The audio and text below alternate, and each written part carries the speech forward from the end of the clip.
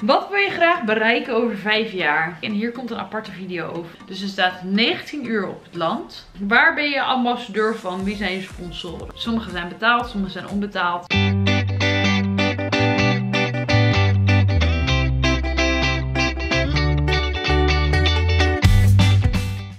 Hi allemaal, welkom bij deze nieuwe video. Deel 2 van de Q&A. Uh, ik heb zoveel vragen weer gekregen dat ik het gewoon niet in één keer uh, in één video kon uh, zetten. We gaan lekker verder met lekker een vragenrondje. Heerlijk, ik hou hiervan. En um, ik begin met de eerste vraag. Even kijken waar ik ook weer gebleven was. Oh hier. Wat wil je graag bereiken over vijf jaar? Nou, ik vind het altijd hele mooie vragen. En ik heb wel zeker wat doelen voor mezelf gezet voor, nu, voor binnen nu en vijf jaar. En het grootste doel is een huis kopen. Het tweede doel is kind of kinderen. Binnen nu en vijf jaar is dat wel haalbaar. Life is Me uitbreiden. En nog gelukkiger worden dan wat ik nu ben. Ik denk dat dat de vier hoofddoelen zijn uh, die de aankomende vijf jaar in mijn leven zullen zijn. En uh, waar ik altijd aan terug probeer te denken. En nou ja, huis kopen is natuurlijk een beetje vanzelfsprekend. Uh, net als kids. Ik wil heel graag kinderen. Dus ik hoop dat het zeker ons gegund is dat we dat uh, ja, mogen krijgen. Uh, Life is Me is natuurlijk sinds vorig jaar officieel mijn bedrijf. En ehm, naast Instagram heb ik daar natuurlijk ook nu sinds drie maanden volgens mij pas YouTube aan toegevoegd bevalt me heel erg goed. Kost heel veel tijd, heel veel energie. Uh, maar wat ik zeg, ik haal er heel veel ook uit. Dus dat is natuurlijk heel erg leuk. En ik zou dat graag willen uitbreiden. Ik weet niet of dat in, in die zin uh, is in meer video's uploaden. Want dat kost natuurlijk ook heel veel tijd. Of dat het is in extra samenwerkingen en daarin doorgroeien. Um, dus daar ben ik nog zoeken in. Daar heb ik nog niet echt een, een, een, een plan voor geschreven of in mijn hoofd. Maar in ieder geval uitbreiden staat wel op de planning. Geen vraag, maar wil je je tattoos een keertje tonen? Ja, dat wil ik. En hier komt een aparte video over. Want ik heb hier zoveel vragen over. En uh, bij iedere tatoeage zit wel een speciaal verhaal. Dus daar wil ik gewoon een aparte video over maken. Hoe hoog uh, wil je springen met Baloo? Ja, uh, nou, ik, ik wil eerst gewoon een normaal BB-parcours doorkomen. Uh, zonder stress en ehm, zonder iets. En dan zien we wel. Kijk, uh, ik weet niet of jullie Maartje Simons kennen. Zij is van uh, het Instagram-account Eventing Harley. Zij heeft Harley zelf helemaal opgeleid. En zij zei ook, ja, mensen die M rijden zijn helemaal gek geworden. En nu rijdt ze ZZ, springt ze. Ze rijdt Z-eventing en uh, ZZ licht dressuur. Het paard heeft helemaal zelf opgeleid. En ze zegt ook elke keer, ik had nooit verwacht en durven dromen dat ik zo ver heb kunnen komen. En dat het er allemaal in zit je weet het niet. Um, dus ik vind dat een hele lastige vraag. Ik zou blij zijn als ik gewoon zonder spanning een heel parcours rond kan rijden. En of dat op een meter is of op 1,10 of op 1,20, dat zien we later wel. Ik denk wel dat als je eenmaal in, die ritmes, in het ritme zit en als je een normaal B-parcours rond kan rijden, dat van de B naar de L dan misschien weer niet zo'n grote overgang is. Maar aan de andere kant denk ik, ja, als ik nu van 50, 70 naar 70, 90 moet, vind ik dat al wel weer een hele grote overgang. Dus ik heb nu een hele grote mond, maar we zien het wel. Het belangrijkste doel is voor mij gewoon om zonder spanning rond te rijden. Dat is ook het fijnste voor het paard, dus dat is gewoon uh, hoofddoel. En dan komt de hoogte vanzelf. Hoe blijf je zo ontspannen mogelijk rijden als je gespannen bent? Nou ja, spanning bij mij komt vaak of omdat ik gefrustreerd ben omdat het niet lukt. En dan zit ik echt zo van, hmm, weet je wel, dat. En dan probeer ik gewoon op mezelf te letten. Esmee is niet eerlijk. Niet eerlijk tegenover het paard. Laat het los. En dan probeer ik gewoon een paar keer goed in en uit te ademen. En gewoon eventjes te resetten en opnieuw te beginnen. Uh, maar spanning kan natuurlijk ook komen van spanning. Dat je het spannend vindt. En dat je denkt, wat gaat er gebeuren? Zoals ik het heb met springen. En dan probeer ik mezelf altijd te schoppen om een reet te geven van oké, kappen nu, jij kan dit, Baloo kan dit en jullie gaan het gewoon samen nelen. En wat voor mij altijd helpt is hele verhalen tegen Baloo vertellen. Soms vertel ik gewoon alleen al wat ik gegeten heb of wat ik die dag gedaan heb. Maar doordat je aan het praten bent, raak je gefocust en raak je een andere soort, in een andere soort vibe. Helpt mij in ieder geval, hè? ik zeg niet dat het bij iedereen helpt. En lachen, want als je lacht ontspan je weer. Dus vooral tijdens mijn dressuurproeven, dan zit ik dit, dit. En dan word ik veel ontspannender, is veel leuker, veel meer genieten. Dus dat zijn altijd uh, tips die bij mij heel goed helpen. Als je zou moeten kiezen tussen altijd springen of altijd dressuren, wat zou je dan kiezen? Nou, dan zou ik voor altijd springen kiezen, want met springen moet je ook dressuren. En uh, daar zit voor mij nu nog de meeste winst. Dus dat, uh, ja, dat heeft dan mijn voorkeur. Wil je nog huisdieren? Nee, ik heb een hond, rakker natuurlijk. En ik heb een paard, maar ja, dat is geen huisdier, maar dat vind ik genoeg. Uh, ook kostentechnisch wil ik ze alles bieden wat er nodig is. Uh, rakker heeft bijvoorbeeld vorig jaar, ja dat is een jaar geleden alweer, um, zijn knietje ging steeds uit de kom. Dat komt vaak voor bij honden. Dat heet patella luxatie en daar is hij aan geopereerd. De operatie was 1500 euro ja, heb ik zonder problemen afgetikt. Omdat ik gewoon vind dat als je een huisdier neemt, moet je daar ook gewoon een volle zorg voor hebben. Maar ja, stel dat ik drie honden heb en dat drie keer gebeurt, ben je al 4500 euro kwijt. Dan gaat het hard. Uh, dat geldt natuurlijk over een paard dat naar de dierenarts moet als er echt wat aan de hand is. Ja, dat hebben we natuurlijk, uh, heb ik vorig jaar met, met Isa ook gehad. Uh, die moest ook vaak naar de, naar de dierenarts. Daar ben ik ook heel veel geld aan kwijt geweest. Van dat geld had ik bijna een nieuw paard kunnen kopen. Maar dat heb je er wel voor over, tenminste ik. Daarvoor heb ik huisdieren, daarvoor heb ik dieren. Um, dus dat vind ik het belangrijkste. Maar ik vind dus ook als ik er nu, nu nog een dier bij neem, um, ja dat is voor mij niet haalbaar. Waarom ben je met Lou gaan springen? Nou, Baloo is een springpaard. En die heeft super veel potentie om te gaan springen. Heeft echt een mega goede techniek. Dus 1 en 1 is 2. Uh, ja, dat is eigenlijk de voornaamste reden. En ik doe niet alleen maar springen, ik doe natuurlijk ook dressuren.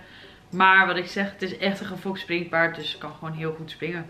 Wat krijgt Baloo voor eten? Nou, dat heb ik toevallig in de vlog die uh, morgen online komt, heb ik dat helemaal verteld. Want die vraag krijg ik best wel vaak. Um, Baloo staat nu op een stal in Soes. En wij hebben een zomerrooster, zoals dat heet. En dat betekent dat zij van 1 tot, uh, ja, van zeg maar tussen 12 en 1 gaat ze naar binnen, gaat ze naar stal. En staat ze tot 5 uur s middags op stal. Dus dat zijn 4, 4,5 uur. In die 4,5 uur krijgt ze, uh, is er hooibak gevoerd, of uh, gevuld. En heeft ze, krijgt ze brokjes, gewoon uh, basisbrok.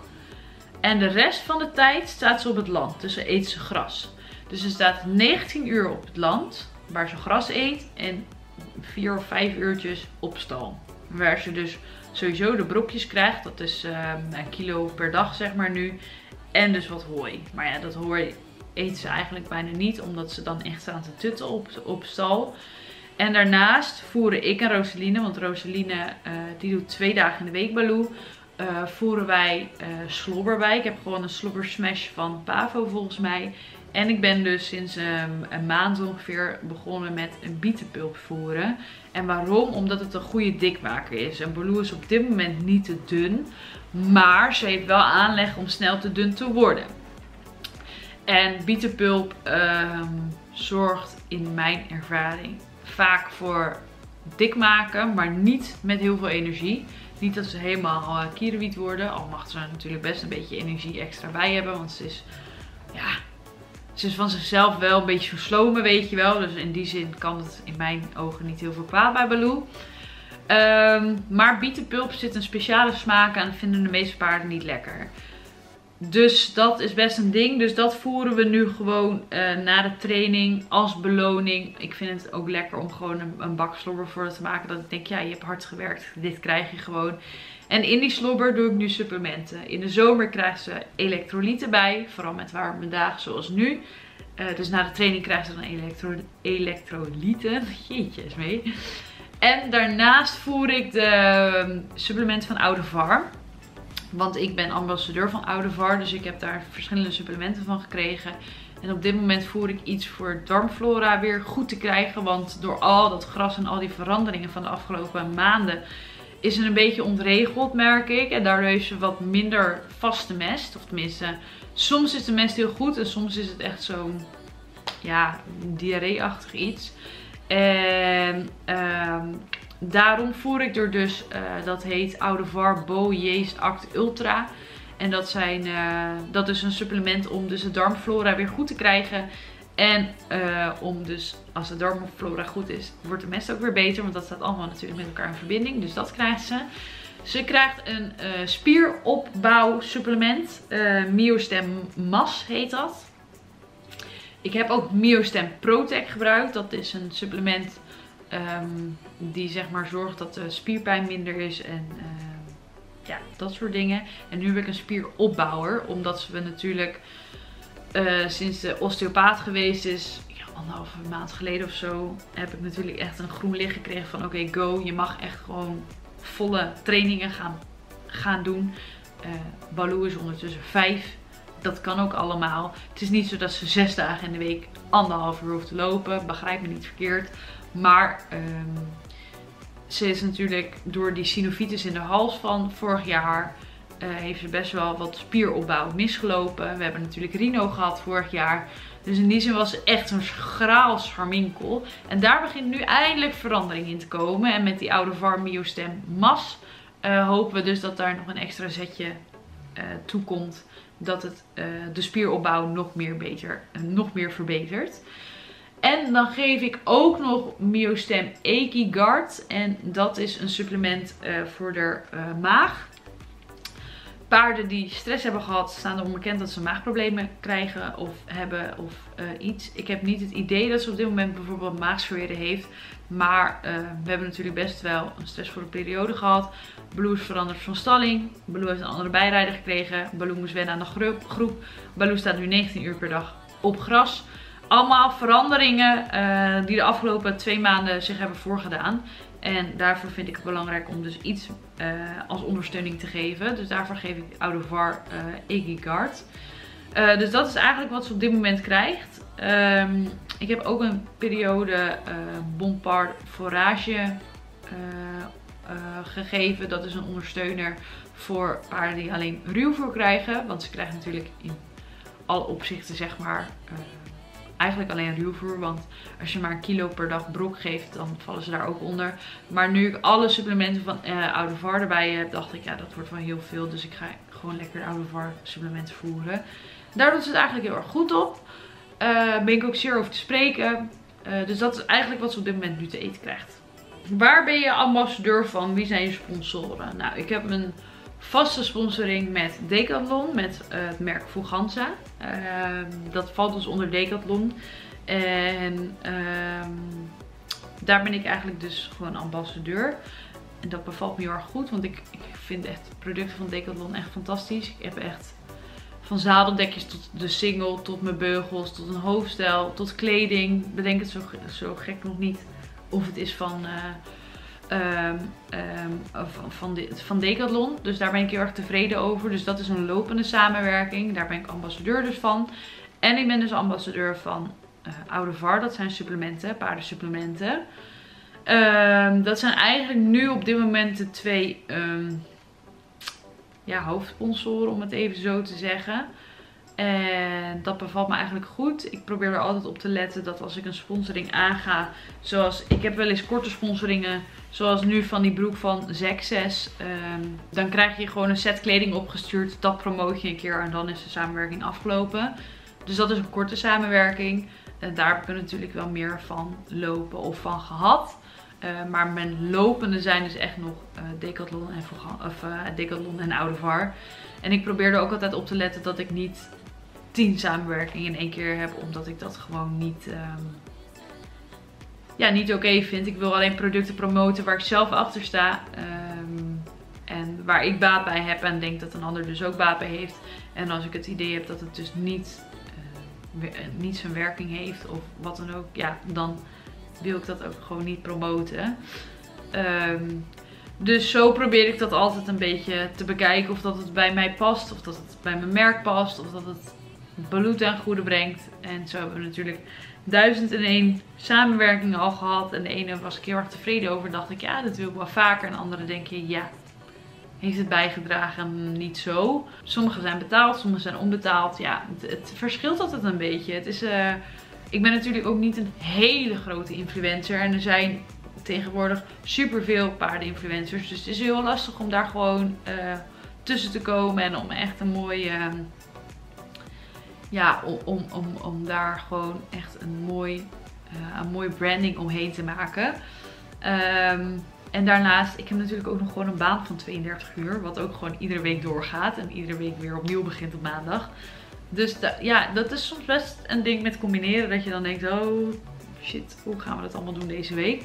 Ehm, dus in die zin ook niet te veel ernaast. Omdat het dan gewoon niet te combineren is in mijn optiek. En de laatste om mee af te sluiten. Wat ga je doen met je baan als je verder weg gaat wonen? Um, jullie, en, en ik hebben natuurlijk nog steeds geen huis gevonden. Maar ik heb vorig jaar de keuze gemaakt om voor Grovet te gaan werken. En toen waren we ook al verhuizen aan het kijken, ons aan het oriënteren. En wist ik al dat ik de kant van jullie op ging verhuizen. Dus ik heb al met het idee in mijn achterhoofd de, ehm, de, de keuze gemaakt om te verhuizen. Ehm, en mijn baan aan te houden. Want ik wilde geen baan aannemen voor een half jaar of voor drie maanden. Want ja, je weet natuurlijk nooit wanneer je een huis koopt en wanneer dat in één keer allemaal in werking wordt gezet en wordt gebracht. Dus ehm, ik had toen al voor mezelf de keuze gemaakt om in ieder geval ehm, eh, de baan aan te nemen en daar te blijven werken. nu heb ik de luxe dat ik vier dagen in de week werk. Waarvan twee dagen thuis en twee dagen op kantoor. En dat blijft ook zo. Dus het zal zo zijn dat ik straks als, ik, als we een huis mogen vinden, twee dagen thuis kan werken en twee dagen naar kantoor moet. En als ik het dan zo kan doen dat ik bijvoorbeeld twee dagen achter elkaar naar kantoor kan gaan. Dan kan ik bijvoorbeeld één nachtje in de week bij mijn vader blijven slapen. Want dan hoef ik natuurlijk maar 25 minuten naar kantoor. En anders is het een uur en 20 minuten. Uh, maar dat zijn allemaal zorgen voor later. Uh, het is in ieder geval zeker de bedoeling dat ik hier blijf werken. Ik heb natuurlijk ook net een vast contract gekregen waar ik super blij mee ben. Ik zit echt mega op een plek op deze, ja, op in dit bedrijf. Dus dat, uh, dat wil ik ook zeker blijven doen. En daar word ik ook gewoon gelukkig van. Dus um, nee, voorlopig lekker blijven werken. En ja, gewoon lekker ook als we straks een huis mogen vinden, dit blijven doen. Nou, ik denk dat ik wel weer uh, aardig wat minuten aan elkaar geluld heb. Uh, bedankt voor het kijken en ik zie jullie in de volgende video dan weer. Doei!